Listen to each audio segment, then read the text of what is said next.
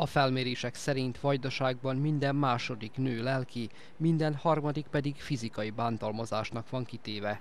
A tartományi titkárság feladata, hogy községi szinten a helyi intézményeket, valamint a nők elleni erőszakkal foglalkozó civil szervezeteket segítse, nyilatkozta Anita Beretics, tartományi segédtitkár.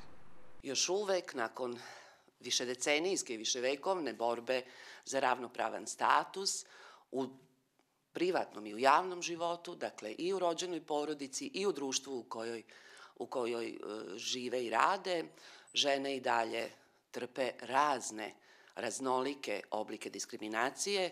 A nők védelmében szükség van a szociális központok, bíróságok, egészségházak, a rendőrség és a civil szervezetek összefogására.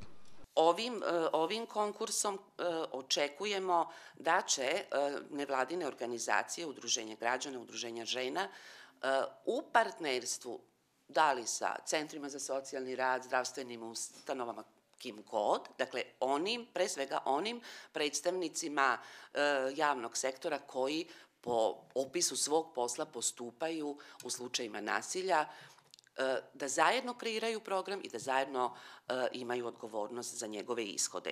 A pályázat összértéke 13,3 millió dinár, az érdekelt egyesületek és szervezetek pedig június 30-áig pályázhatnak a tartományi titkárságnál.